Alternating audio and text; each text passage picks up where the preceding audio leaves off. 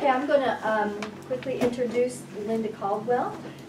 Linda Caldwell owns a farm on Paint Lick Creek, where her ancestors have lived for many generations.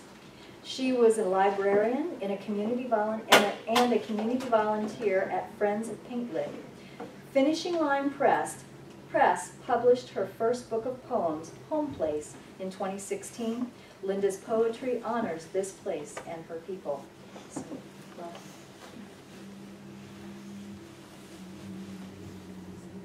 This is the book, and I'm going to read some from the book and some other poems that relate to the theme of the book, which is about home place, my farm and house in Kentucky. This is not my house, but it belonged in the family to relatives, the the property.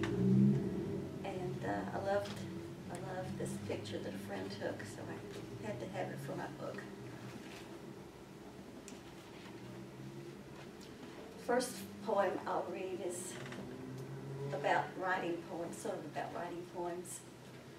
Um, It's called In the Churchyard. The car shivers with wind's assault. I feel Earth's revolution. Under leafless trees, grass waves like Kansas wheat mimicking oceans. Can you hear me? December warm enough to put the top down. I spin in brightness. I cling, tilt, turn, wait, grow no wiser through the passing seasons. Still, I write poems.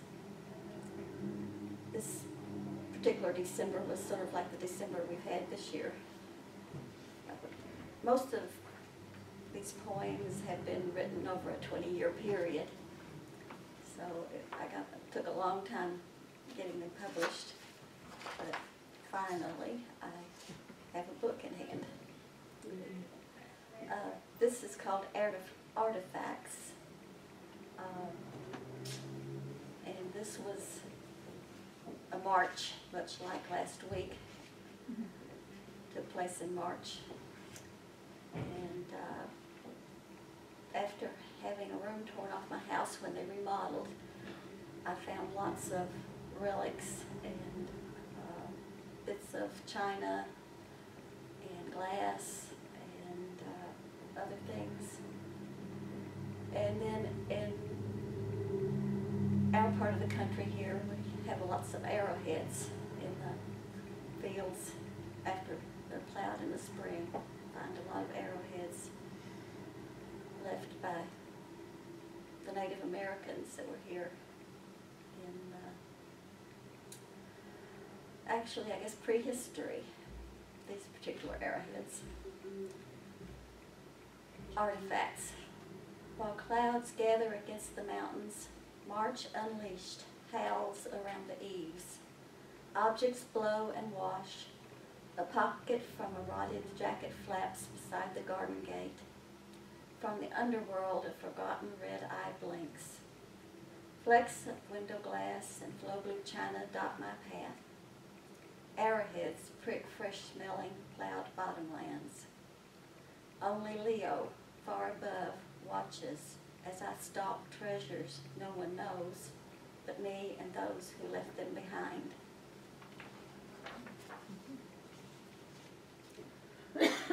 Also, when I did some remodeling on my house, uh, took down thirteen layers of wallpaper. The only thing that was holding the plaster on the wall, I think, was the wallpaper. And my sister-in-law made me a, a picture, uh, framed a picture of the wallpaper and the poem, this poem for me. Wallpaper. I stripped my mother's hand-painted dogwood blossoms away from pale memory of green and white lattice work. Deeper in, the friable underlayers peel back like sunburnt skin. When I'm down to turquoise, brown, and one swirl of red, I know the last eyes that saw these patterns belong to the dead. Few words outlived them, spidery lines in a Bible, on old deeds. And almost dust, Ghosts glimmer, whisper, as my fingers separate paper from paste, held together for one hundred and thirty years. I write a lot about ghosts, but uh, it's not like Casper or, or, you know, they, they don't materialize in front of me, but they, I feel people that have lived around me, I still feel them there. This one's called Unmended Wall, and Barbara, my cousin, is here, and you can tell Carol about this one. It was an experience I had with my cousin Carol. Uh, we decided to move some rocks from an old rock wall to her farm, or her house in her yard. She wanted something from her grandparents' farm. So uh, it was sort of an ordeal. She ended up having knee surgery shortly after doing this. Oh dear. A mended wall. Chinks like soapstone crumble between a few upright rocks that do not resemble limestone found elsewhere on the farm. Fragile and yellow, we named them slate. I feel no kin in this line fence, although the stoneworkers of New Grange and Poulnabrone rattle in my bones. Slave walls, they were called, but built by Scots and Irish. Boundaries born in their heads and planted in Kentucky. Bending and lifting, we work, knees pop and fingers bleed. This wall's future is its past. And at, if uh, you don't know what New Grange and Poulnabrone are, uh, they're, uh, Boulder, Poulnabrone is a burial site in uh, Ireland, and New Grange is a place underground, similar to Stonehenge, except the light shows in midwinter instead of mids- midsummer on the, the heel stone.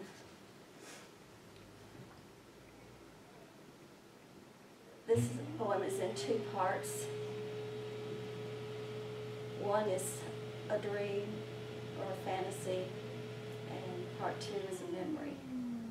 Part one, tea.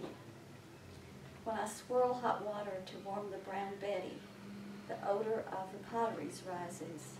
Another time in Belleek or Bybee. An old ache settles in my back, and my and the arch of my foot flattens under another's weight and toil. toil.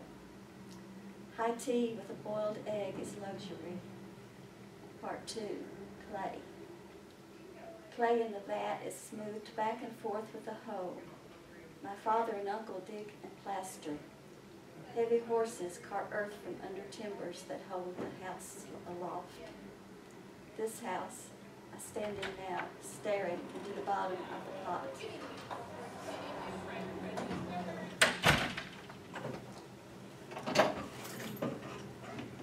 In, I think it was nineteen forty-seven, that they put a basement in my house and they took the horses under, under the house with scoops to scoop out the dirt to make the basement. And that's a, a mem, one of my first memories of those big horses coming out from under the house.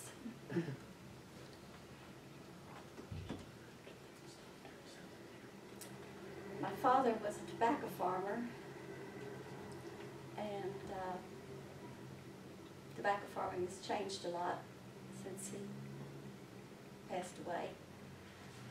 And I call this after the first cut. When the tobacco wagons rattle planks and slow down on the curb, they draw both my ear and eye. Brown men plant their feet on poplar rails. Spanish and English mix orders and conversation echoes to my father's lost words. Dying plants droop westward in opposition to your face turned toward resurrection morning.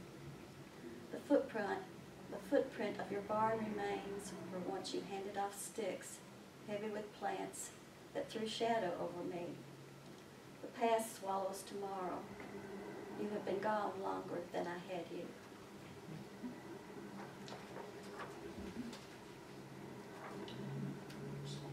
This is another one about uh, differences in farming. Part one's about a young farmer. part two is about my father. Generations of farmers, one. Within the dormant winter woods, a patch of white traps the eyes. Nestled in the crotch of a fallen tree, a newborn lies like drifted snow. Perhaps his mother hid him out, as cows often do.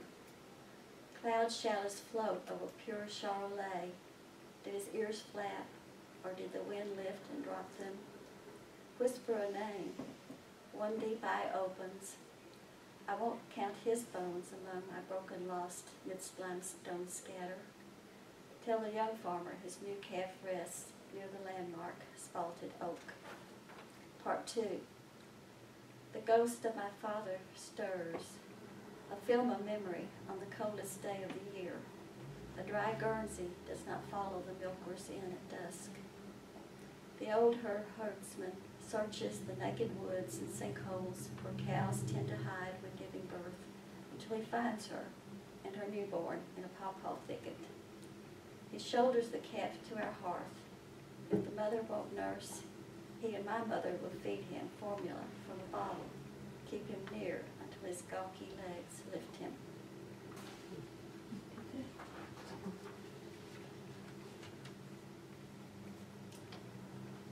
This is a poem about a farmer that just passed away last month and his mother, only I changed it around a little bit. Rituals. Within a bare bulbed circle of light, he skins the dead calf and places its hide over the orphan. Under the smell of blood, milk, and last year's tobacco, his wife halters the splay-legged mother.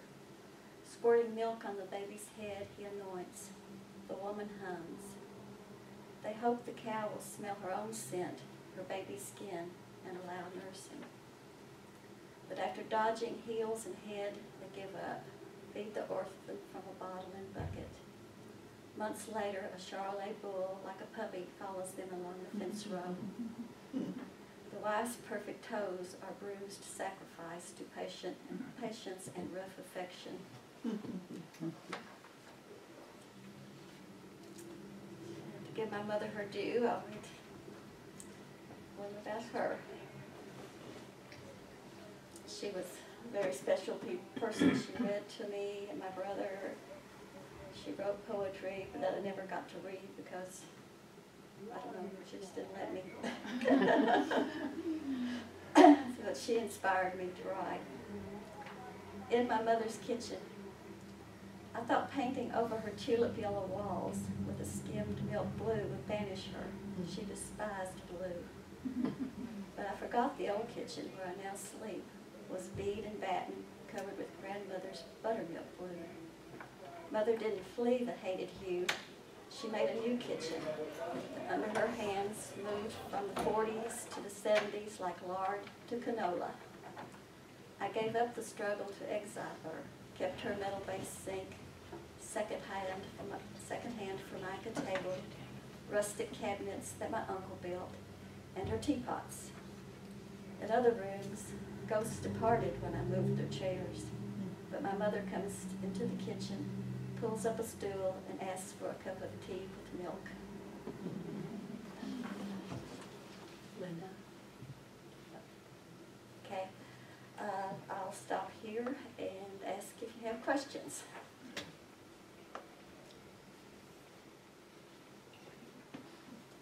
What finally moved you to um, have these poems published after so many years? Well, I've, I've sent a lot of poems out to magazines and published in magazines and journals. And I put a collection together, put a, a whole book collection together and sent it out a couple of times. Got good comments, but still rejections. And uh, it's published by Finishing Line Press, which is here in Kentucky, and they had a contest for, I think it was the Women Writer, con- Women's Writers Contest, New Voices. And uh, so I sent my twenty-five dollars off and didn't win the contest, but they asked to publish the book. So I was delighted.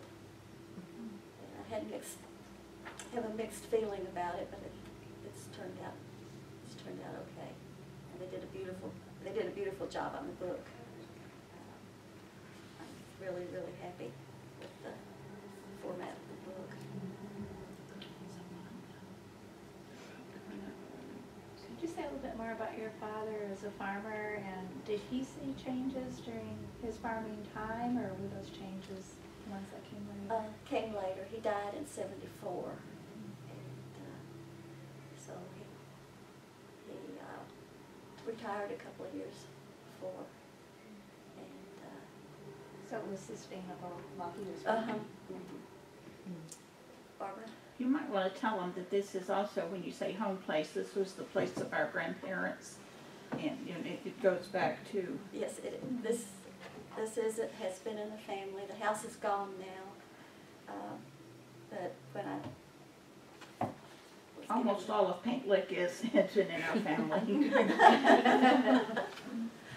Uh, uh, great grand, our great grandfather owned a lot of property and it sort of went to his children and so we had family all around and growing up and, uh, so now that's changing, but, What is it? Pardon? You are it. I'm, I'm the She's last there. one. She's I'm the last one. She's the last one. Uh-huh. We've all moved away. And uh, Paint Lick is rising though, from the ashes. There's a wonderful uh, business there called Copperhead Environmental. So I'm really happy about that. I love- Paint Lick. Thank you, Linda. Uh-huh.